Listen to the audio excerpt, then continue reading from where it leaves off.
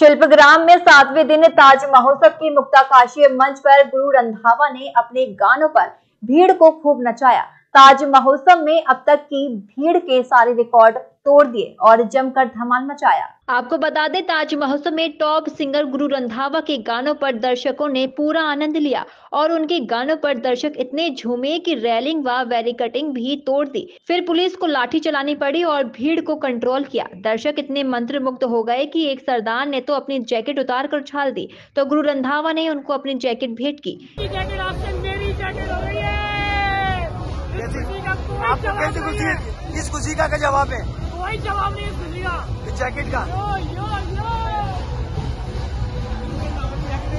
इसी समय पब्लिक इतनी उत्तेजित हो गई कि सारी रेलिंग और कुर्सियाँ इधर उधर फेंक दी।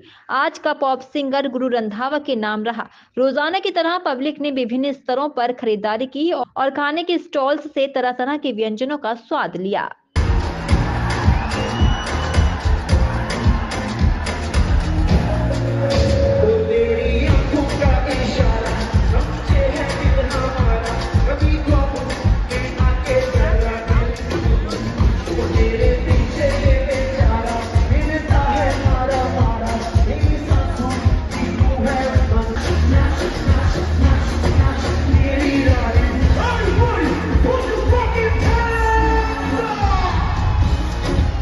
प्रातः दर्पण न्यूज़ के लिए आगरा से कैमरा पर्सन फहीम के साथ डॉक्टर सीपी सिंह की रिपोर्ट।